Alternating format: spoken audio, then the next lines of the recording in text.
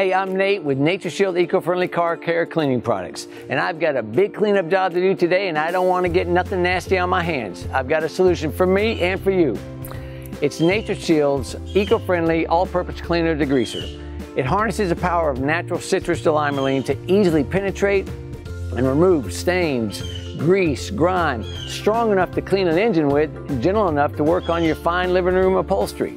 This stuff really works, so the next time you've got a tough job to do, get you some of this.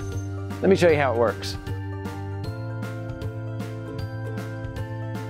Okay, as we start these steps, people often ask, how much cleaner, how much scrubbing? Remember, the main idea when you're cleaning a vehicle, detailing, is to get the vehicle clean. So you'll use whatever is necessary. And when you've, got, when you've got the right product, it's simple. So we'll take our product and we'll just cover the soiled area lightly.